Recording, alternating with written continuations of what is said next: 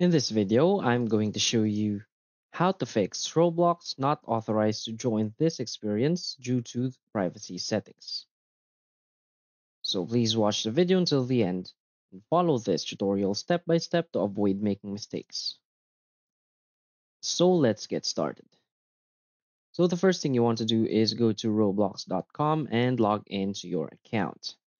Now after logging into your account, just simply click on the gear icon in the upper right corner of the screen and select settings.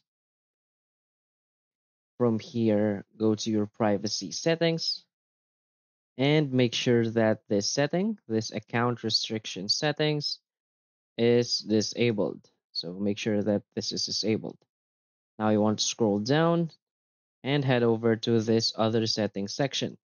Now you want to make sure that this setting who can join me in experiences is set to everyone. So by doing all that, now your friends can join you uh, without seeing the problem that says not authorized to join this experience.